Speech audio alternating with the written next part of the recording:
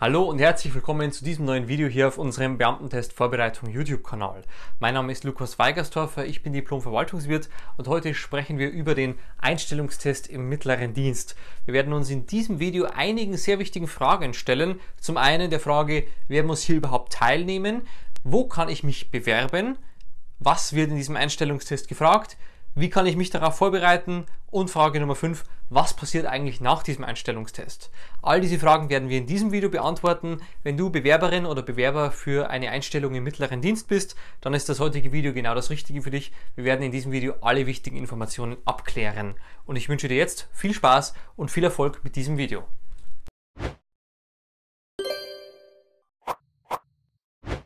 Ja, beginnen wir mit unserer Frage Nummer 1. Wer muss eigentlich am Einstellungstest im mittleren Dienst teilnehmen? Nun ja, zuerst einmal muss man sagen, dass dieser Einstellungstest sowohl in der kommunalen Verwaltung, also bei Städten, bei Gemeinden stattfindet, aber diesen Einstellungstest gibt es auch bei staatlichen Behörden. Das heißt zum Beispiel bei einem staatlichen Landratsamt oder bei einer Bezirksregierung. Wenn du also eine Ausbildung machst, eine Ausbildung zur Verwaltungswirtin, Verwaltungswirt oder auch zum Verwaltungswirt, Verwaltungswirtin in der kommunalen Verwaltung, dann wirst du um diesen Einstellungstest nicht herumkommen. Das heißt, alle Bewerberinnen und Bewerber in der zweiten Qualifikationsebene im früheren mittleren Dienst. Alle diese Personen müssen diesen Einstellungstest bewältigen.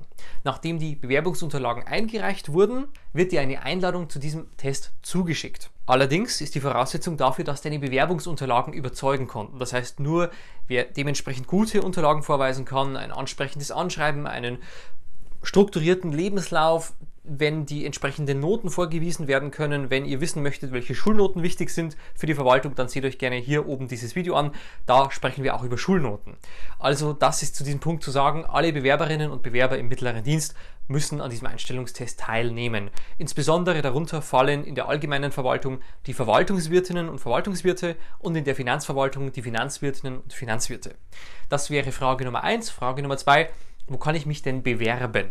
Wir haben schon in Frage 1 darüber gesprochen. Es sind zum einen also kommunale Verwaltungen, Stadtverwaltungen und zum anderen staatliche Behörden, Landratsämter, Bezirksregierungen. Das sind in der Regel die Behörden, die am meisten einstellen, auch im mittleren Dienst. Hier die Ausbildung zum Verwaltungswirt, zur Verwaltungswirtin ist da die Ausbildung Nummer 1, die hier am häufigsten angeboten wird.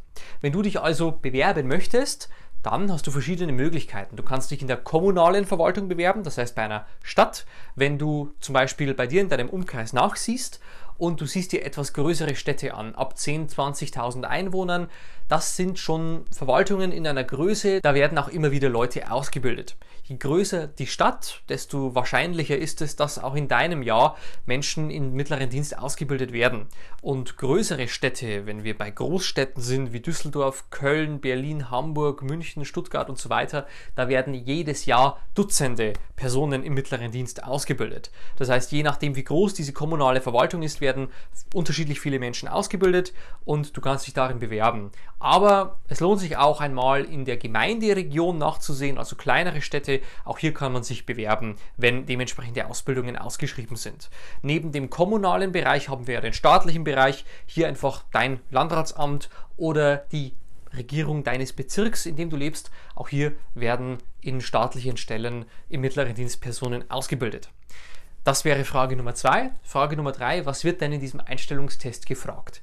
Die Ausbildung, die später auf dich wartet, ist eine Ausbildung aus den Bereichen Recht, da gehören auch zum Teil Sozialwissenschaften mit dazu und in dieser Ausbildung wird auch Verwaltungsbetriebswirtschaftslehre geprüft. Weil Recht hier ein wichtiger Faktor ist, ist deutsche Sprache im Einstellungstest ein großer Prüfungsteil. Das heißt, verschiedene Übungen zu Grammatik und Rechtschreibung. Man möchte sehen, ob ihr konkrete Rechtschreibung beherrscht, ob ihr Satzzeichen beherrscht, ob ihr in ganzen deutschen Sätzen formulieren könnt, Texte verstehen könnt und auswerten könnt, Aufgaben zu Grammatik und Rechtschreibung. Das ist der Teil deutsche Sprache. Dann haben wir auch Mathematik und logisches Denken, Zahlen rein und Buchstaben rein. Auch etwas räumliches Denken kann da mit reinspielen in diesen Test. Und wir haben eben diesen Teil Allgemeinbildung. Allgemeinbildung, da müsst ihr auch damit rechnen, dass zu der jeweiligen Behörde etwas gefragt wird. Wenn ihr also den Test bei einer Stadtverwaltung macht, dann sieht euch zum Beispiel unsere Stadtverwaltung Testtrainer an. Dort haben wir genau solche Fragen, die auch in diesen Prüfungen abgefragt werden. Das heißt, konkrete Fragen zu der Stadt, bei der du dich bewirbst. Das ist hier sehr wertvoll, denn Gerade in der kommunalen Verwaltung werden hier Fragen dazu gestellt. Das kann auch übrigens im Vorstellungsgespräch der Fall sein. Das heißt, das sind diese Prüfungsteile in diesem Einstellungstest. Wenn du dich auf deinen Einstellungstest im mittleren Dienst vorbereiten möchtest, dann sieh dir sehr gerne unsere Online-Testtrainer für den mittleren Dienst an. Hier findest du auch alle Aufgaben, die relevant sind für diesen Einstellungstest. Es ist also eine sehr gute Möglichkeit, um sich zielgerichtet auf diese Auswahlprüfung vorzubereiten. Wenn du also ernsthaftes Interesse hast an einer Ausbildung in der Verwaltung, dann sieh dir gerne den ersten Link in unserer Videobeschreibung an. Das war auch schon gleich unsere vierte Frage. Wie kann ich mich darauf vorbereiten? Wichtig ist rechtzeitig mit der Vorbereitung zu beginnen. Jeden Tag zum Beispiel eine halbe Stunde oder eine Stunde zu üben. Lieber tägliche Vorbereitung in kleinen Schritten, als wie dass man drei, vier Tage vor dem Einstellungstest versucht, den gesamten Stoff zu lernen.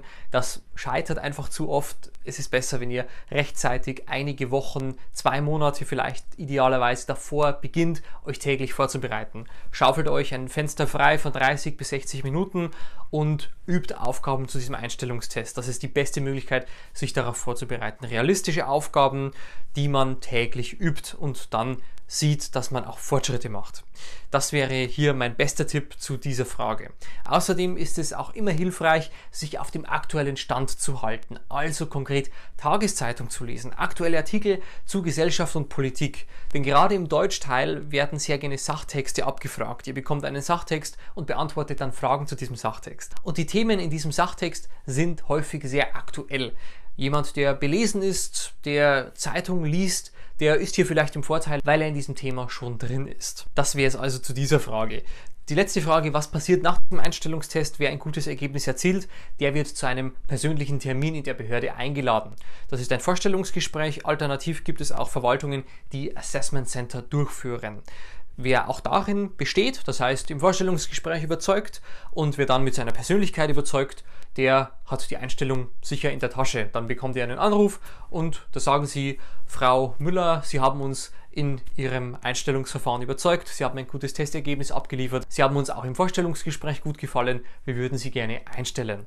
Und das ist dann sozusagen eure Einstellung. Ihr bekommt dann eine Ernennungsurkunde und dann beginnt euer Beamtenverhältnis auf Widerruf. Das heißt, wer diesen Test besteht, der kommt in der Regel in die nächste Stufe des Auswahlverfahrens. Das ist dann ein persönliches Gespräch, ein persönlicher Termin und das ist dann die letzte Stufe.